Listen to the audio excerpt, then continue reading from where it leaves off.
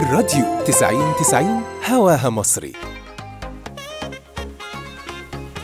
ولسه مكملين وافصل واسمع على الراديو 90 90 ولسه معاكم إيمان مختار ودخلنا في الساعة الثانية طرق التواصل معانا على 91 9 ال SMS تليفوننا 2 18 10 8 66 وال fan page فيسبوك slash الراديو 90 90 النهارده بنتكلم عن فوبيا الجواز.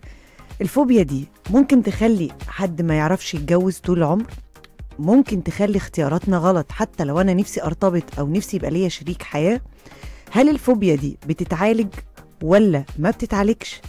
إزاي نقدر نتصرف فيها؟ يمكن قضينا الساعة الأولى. نسمع بس كده خبرات بعض والدنيا فيها إيه. لكن آه خلوني آه نتكلم بقى رأي العلم وعلماء النفس آه في فوبيا الجواز وهل الموضوع ده بيتعالج ولا لأ. معايا الدكتور أحمد هارون استشاري العلاج النفسي وعضو الجمعية العالمية للصحة النفسية. مساء الخير يا دكتور أحمد. مساء النور. أهلا يا إيمان. ازيك إزيك يا دكتور أحمد؟ عامل إيه؟ الحمد لله منور ربنا يخليك. إحنا عشنا كده أول ساعة يعني إيه بسمع آراء المستمعين. يعني اللي اللي بتقول لي إن البيت أنا اتربيت في بيت كله مشاكل فطلعت متعقدة. واللي يقول لي أصل أنا كذا تجربة آه، خضتها في حياتي فمبقتش عايزة أجرب تاني وعندي فوبيا إن أنا أخوض التجربة مرة تانية. بس خلينا يا دكتور أحمد نعرف يعني إيه فوبيا جواز شوفي خلينا نقسم التعريف اللي حضرتك طالباه لحاجتين حاجة اسمها فوبيا يعني مخاوف أو خوف. الخوف الزايد اللي بيعطلني ويوقف آه، احتياجاتي. زي إن أنا بخاف من حاجة معينة فما بقدرش أحققها. لدرجة إن أنا ببقى في حالة من الرعب إنها ممكن تحصل. ده بينطبق على كل الفوبيات الممكنة. بينطبق على الفوبيا الاجتماعية اللي هي ال social phobia بينطبق على الخوف من الأماكن الضيقة اللي هي ال claustrophobia. بينطبق على كتير من مخاوفنا وإحنا بنتعلم لكن في مخاوف خاصة بالعلاقات اللي منها علاقة الزواج. بخاف من الزواج يعني إيه؟ يعني بخاف أفشل في الزواج. تمام. بخاف أتعرض لضغط في الزواج. بخاف أحس بضغوط نفسية ما أقدرش أتكيف معاها في الزواج. ده الجزء الأول. الجزء الثاني الزواج. هو يعني إيه زواج أصلا؟ فرقي ما بين ثلاث حاجات. حاجة اسمها الارتباط وحاجة اسمها الحب وحاجة اسمها الزواج. مم. ارتباط يعني اثنين قرروا إن هم ممكن نقف بس في حتة فيها. سيجنال كويس يا دكتور أحمد؟ كده كويس؟ تمام. اتفضل يا دكتور احمد ارتباط يعني اثنين قرروا إن هم يرتبطوا ببعض. الزواج اتنين قرروا إن هم يشهروا ويعلنوا هذا الارتباط بشكل رسمي. الحب اتنين قرروا إن هم يكملوا مع بعض. لأن مش كل اللي متجوزين عايشين مع بعض. في ناس كتيرة جدا عايشين قدام الناس تحت سقف واحد. وهم ما بيشوفوش بعض وما بيحسوش ببعض. ولو اتقابلوا بيتقابلوا في ميدان السفرة. على أساس إن هم ناس شركاء في بنسيون ممكن يتعاملوا مع بعض بشكل لطيف قصاد الناس أو يتكلموا مع بعض بشكل ألطف قصاد الناس إلا إن كل واحد منهم لا قادر يعرف التاني احتياجاته ولا قادر يحصل على اللي هو عايزه من شريكه. وهنا بتبدأ المشكلة. اللي أثرها لما بتطلع بتخلينا كلنا نسأل نفسنا مليون مرة هو لو تم الجواز أنا هعاني نفس المعاناة وهمر بنفس الخبرات وهتعب بنفس التعب. لما تلاقي حد هو مش مطلق ولكنه بيعاني مما يعرف بالطلاق الصامت. إنها طول الوقت بتتمنى إن اللي عايش معاها يحس بيها أو يفهمها أو يقدر يترجم احتياجاتها. ولما هي بتروح وتقول له أنا محتاجة منك واحد واثنين وثلاثة بعد ما بيعملهم ما بيبقاش فيه طعم خالص اللي هو عمله. لأن أنا بطلبها يعني الواحد لما بيطلب الاهتمام ما بيبقى بيبقى طعمه مش حلو يعني ما بيبقاش برافو عليك.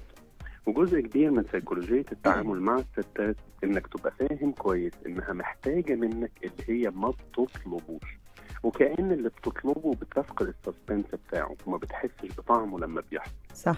مخاوف الجواز بتيجي من مخاوف الفشل. ومفيش حاجة أصعب من إن أنت تفشلي في علاقة في مجتمع بيحكم عليكي إنك أكيد أنت اللي غلطانة. لأن لو سنك اتأخر في الجواز فيبقى أكيد مفيش حد بيسأل عليك. مم. ولو اتجوزت بدري حرمت نفسك وضيعت شبابك. ولو طيب اتجوزت ما كذا مرة. أول ما اتجوزتي. لا خلينا واحدة واحدة. ماشي. يعني من الأول خالص أنت آه، ما اتجو- اتجوزت بدري. ليه يا بنتي عملت في نفسك كده؟ أيوه صح. طب اتجوزتي متأخر مفيش حد بيسأل عليها دي بايره آه. طيب أجلت الخلفة حرام عليكي كده تأجلي رزق ربنا. صح. طيب خلفت أول ما اتجوزت على فكرة اللي أنت بتعمليه ده هيوقف لك حياتك ويخليك ما تستمتعيش بيها. وما لحقتيش تستمتعي كنت استني شوية. آه. بالظبط. هفضل عايشة معاه وهو بتاع مشاكل. أنت إيه يا بنتي اللي جابرك تعملي في نفسك كده؟ مم. طب هنفصل عنه عشان مش مستحملاه. الست العاقلة هي اللي تحافظ على جوزها أنت ليه بتعملي كده؟ آه. وتفضل المرأة طول فترات حياتها من قبل الارتباط مرورا بيه وانتهاء ليه وهي بتعاني من تقييم الآخرين إن هي دايما عندها مشكلة. لو متجوزة سباب ولعان وشتام وحد ممكن مفيش حد يستحمله وقررت إن هي تنفصل عنه هتشيل آلاف الأحمال من إن هي هتتعرض لضغط من الستات قبل ضغوط الرجالة. إن أغلب الستات يشكوا فيها ويراقبوها وما يأمنوهاش إن هم يقعدوا معاها. آه. وأغلب الرجالة ممكن يطمعوا فيها أو يطلبوا منها إن هي تقرب منهم بشكل أو آخر. فهي بلا وعي بتقول لك أنا بدل ما أحط نفسي في كل هذه الضغوط أنا خليني متحملة بعض الضغوط. مع حد ما بحبوش ما بستلطفوش ما بحبش إن أنا أقعد معاه. وتبدأ هنا بقى تعاني من إن تحملها لهذا الشخص هو تحمل لمزيد من الضغط. وتبدأ تعاني من إنها مش قادرة تتوافق معاه ولا حتى تستوعب وجوده في حياتها. لغاية ما توصل لمرحلة انها بتنام بصعوبه ولما تصحى من النوم بتقوم منه بصعوبة مم. تبدا تعاني من الأرق الشديد والإجهاد البدني الأشد وتظهر عليها مجموعة أعراض جسدية من الصعب جدا تفسيرها طبيا اللي كتير من الدكاترة بيتعاملوا معاها على إنها أعراض مس جسدية.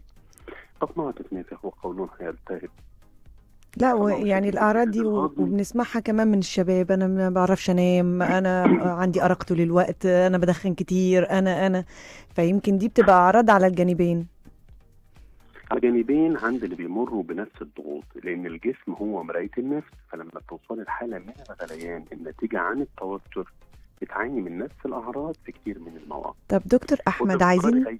عايزين الروشتة لأن إحنا طبعا يعني إيه، أنا عارفة الدكتور أحمد عايز حلقات وحلقات لكن عشان إحنا على الراديو. عايزين روشتة بقى إزاي إزاي أكسر الفوبيا دي وأبتدي أرتبط وبجد وصح؟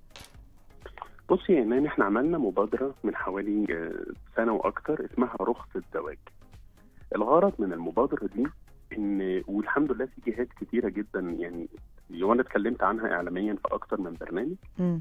وجهات كتيرة جدا منها المبادرة بتاعت الرئيس اللي ممكن يكون بيدعمها دلوقتي زي مبادرة موده مم. رخصة زواج الغرض منها إن أي حد هيروح يتجوز لازم ياخد رخصة قبل ما يتجوز. تمام. وخلينا نتفق في حاجة آه، ارجوكي إنك يعني وكتير من الإعلاميات ال- الجمال اللي زيك يركزوا ويلقوا عليها الضوء ربنا يخليك. اتفضل. كل اللي يملك فلوس إن هو يشتري عربية. يقدر يروح يشتري عربية مش كده؟ آه. لو تخيلنا ان هو يقدر يسوق العربية دي من غير رخصة كم الكوارث المادية والبشرية اللي ممكن تحصل من إن واحد معهوش رخصة قيادة ممكن يسوق عربية؟ كتير. طيب تخيلي بقى إن اللي بيسوق أسرة وبيقود عيلة وبيتحكم في مصائرهم وشكلهم اجتماعيا وظروفهم النفسية والحياتية ممكن ما يكونش معاه رخصة ده تمام. أنت تعرفي إن إحنا عندنا كل يوم 240 حالة مطلقة؟ لا طبعا مع نسبة وجود الطلاق بقت دقايق. جدا. آه. كل ست دقائق في حالة طلاق طب الروشتة يا دكتور. حالات حاضر عشان وقتنا. حالات الطلاق آه. بتحصل في الست شهور الأولى من الجواز آه بنسمع ده ده ساعات بعد أول أسبوع من الجواز وأسبوعين من الجواز كويس. بقينا نسمع حالات غريبة شديد. آه لغاية ما نتكلم عن رخصة الزواج باستفاضة وإنك إزاي تعرف تأتراكت شريك الحياة المناسب حلو أنا هطلب من كل واحدة بتسمعنا إنها ترتبط براجل مش بذكر. ذكر وأنثى دول نوعين راجل وامرأة دول صفتين. يعني إيه؟ يعني لما ارتبط بذكر ده مجرد نوع. وكل راجل هو في الأصل ذكر بس مش كل ذكر يقدر يكون راجل. تمام. طب أعرف. الراجل ده معناها إيه؟ أيوه أعرف أعرفه إزاي؟ ثلاث حاجات. آه. إنه أمين معاكي وصادق وياكي ومسؤول عنك. لو مم. ما توفرش فيه الثلاث صفات دول يبقى مجرد ذكر. تمام. وهو برضو يرتبط بالست إزاي؟